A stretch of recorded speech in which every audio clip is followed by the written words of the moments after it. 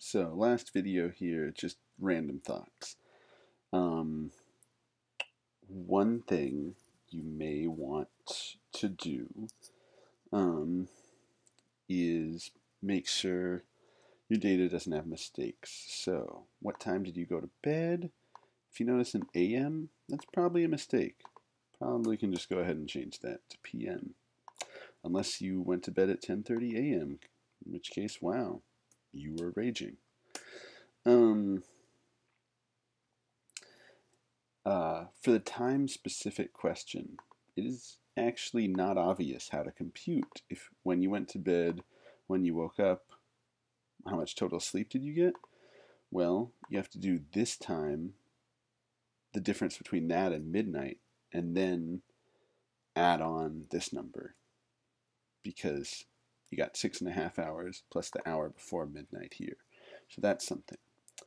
Here, this is an example of you don't want it like this because these say ounces and so it doesn't know it's a number, so it's off to the left. You could quickly number format them as a number. Nope, that doesn't work. All right, that means you have to go through by hand and delete them. Okay.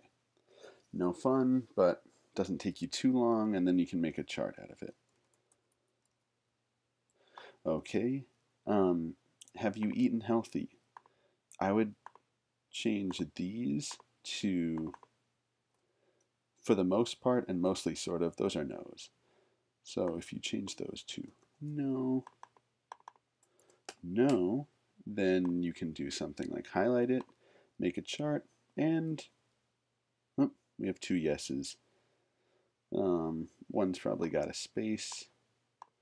Again, you have to go through, find the ones with spaces at the end. Oh, there was one. Clean that up. Okay, now we can highlight it, make a chart, and there's just yeses and nos. Or you could do it this way. But this is a reasonable use of a pie chart. And again, you would change the colors over here in customization. You can make any chart type you want, but one of the recommended ones is the way to go. Probably a pie chart. Um, have you exercised? These could be cool next to each other. Again, it looks like we've got two types of no's, so you're looking for one without a space. Um,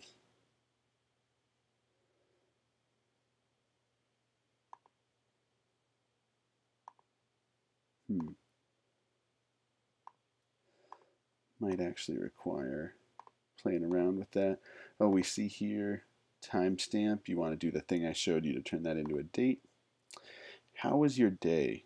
I really recommend going through and changing this to a number, whatever scale you want, 1 to 100, good or bad, one yes or no, like was it good, but something because it's hard to do something with. I was not in a good mood, pretty great, it was okay. Just find a way to number those.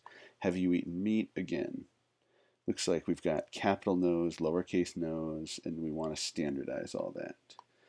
Um, so that's just random things to keep in mind. Um, I'll see you guys tomorrow. Uh, just try and get some stuff done today as much as you can. Um, think about how you want it to look and start making charts. And tomorrow we'll knock a bunch of this out. Um, okay.